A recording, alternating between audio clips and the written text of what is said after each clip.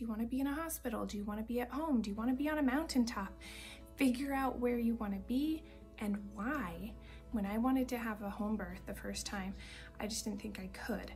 I wanted to, but I was like, well, I can't find midwives who come out to my area, so it's not really an option. My mentor taught me how to think outside the box. Like, that's not true. You could have a birth at home if you want to, whether you're attended by a midwife or not. And I did find a midwife who would come out to where I lived, co creating with God.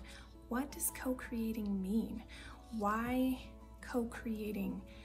isn't why is that important in your birth so co-creating means to create with god you're co-creating he can create anything and you can with him. Co-creating is is like you have an idea you have a desire and you don't just have wishful thinking like oh that'd be really cool. I'm gonna wish for it really hard or i'm gonna cross my fingers or i'm gonna pray pray pray please.